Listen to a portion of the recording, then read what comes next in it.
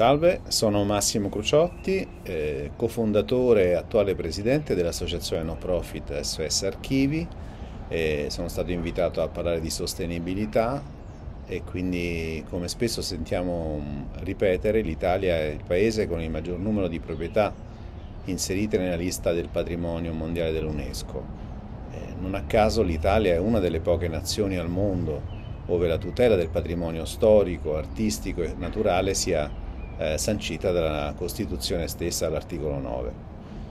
Ma nonostante un cambio di passo recente per iniziativa di molti operatori pubblici e privati, noi ne siamo un esempio, eh, resta diffusa la sensazione di una mancanza di visione eh, politica, eh, strategica e di conservazione e di promozione in linea con la ricchezza e la qualità del patrimonio disponibile.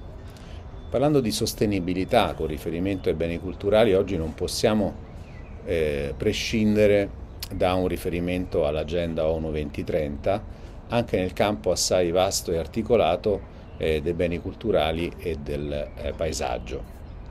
C'è bisogno di un, dal nostro punto di vista, di, un, di uno studio interdisciplinare ai beni e ai servizi culturali di musei, archivi, biblioteche, al fine di trovare delle risposte che diano corpo ad azioni comuni di sviluppo, ai progetti di ricerca per la sicurezza e la salvaguardia del patrimonio culturale pubblico e privato con un approccio che richiede oggi maggiori competenze. L'individuazione di indicatori utili per misurare il raggiungimento dei 17 obiettivi di sviluppo sostenibile contribuisce da questo punto di vista ad aprire una riflessione sui modi in cui il patrimonio materiale e quello immateriale possano contribuire allo sviluppo sostenibile.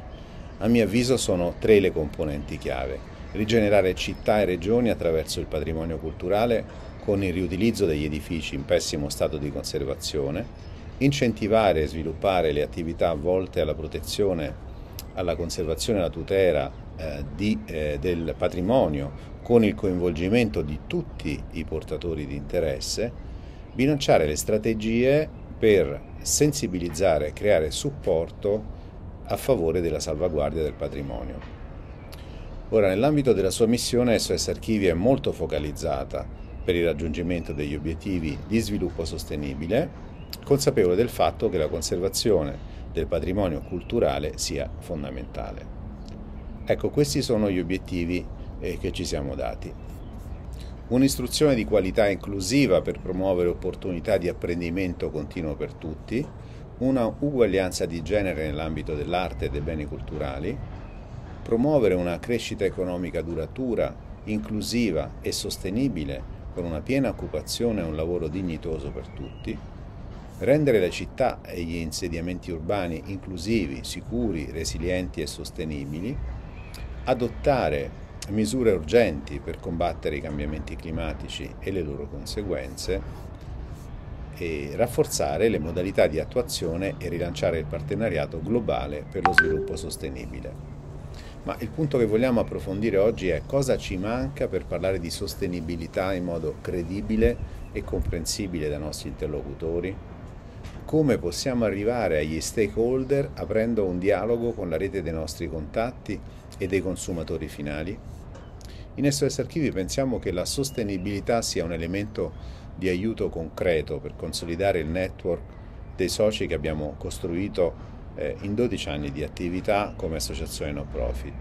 Non è facile valutare l'impatto in termini di sostenibilità.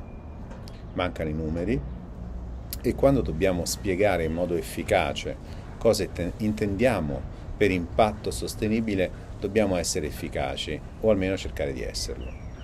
E quindi come definire i contenuti e comunicarli? Riteniamo che i valori espressi in termini di sostenibilità debbano essere dichiarati in una valutazione di impatto all'inizio prima di ogni progetto, con una finalizzazione concreta degli stessi.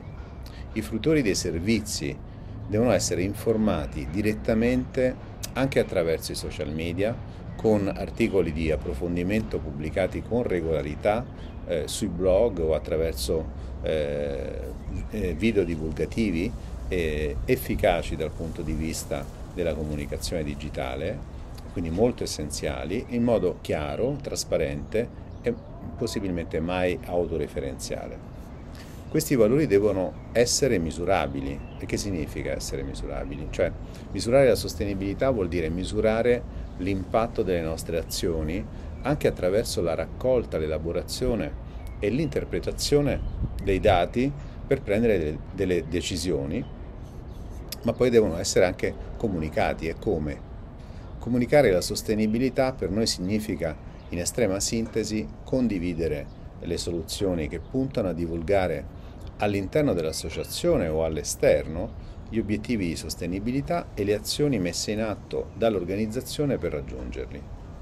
Noi ci occupiamo tra l'altro anche di formazione e sulla formazione cosa possiamo fare di veramente sostenibile, per esempio.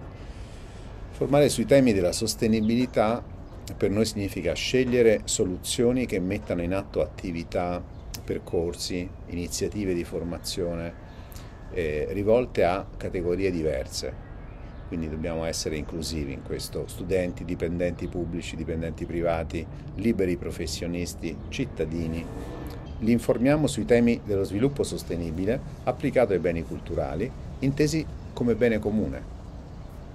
Fare rete è importante per noi perché ci permette di raggiungere obiettivi di sostenibilità. Le iniziative che favoriscono la creazione di reti, network, partnership a livello internazionale, nazionale o locale ci aiutano a diffondere una cultura dello sviluppo sostenibile e eh, a sviluppare eh, progetti sugli obiettivi dell'Agenda 2030. Quindi per concludere potremmo riassumere in, in sei, punti, in sei punti fondamentali per noi. L'istruzione e l'awareness, cioè la consapevolezza sulla sostenibilità ambientale, e quindi la messa in sicurezza del territorio, la lotta contro il cambiamento climatico e lo studio dell'impatto che questo ha sui beni culturali, i nuovi modelli per la produzione e il consumo di beni e servizi, il capitale umano e l'educazione, cioè migliorare l'accesso all'istruzione a tutti i livelli, è un'istruzione e, e formazione nell'ottica del lifelong learning, come si dice, cioè dell'apprendimento permanente e in particolare per la formazione dei risk manager dell'arte dei beni culturali. Il quinto punto è lo sviluppo eh, di nuove competenze tecniche e professionali per l'occupazione la creazione di nuovi percorsi formativi e buone pratiche di alleanza e partnership tra il mondo del lavoro e il mondo dell'istruzione. Eh, desidero ringraziare infine gli organizzatori del Future Respect per averci coinvolti in questo interessante congresso che ci ha offerto oggi la possibilità di far conoscere SOS Archivi che da molti anni cerca di coinvolgere i cittadini e i consumatori eh, rendendoli partecipi sul tema della sostenibilità affinché possa influenzare i comportamenti e le scelte future di tutti noi. Grazie per l'attenzione.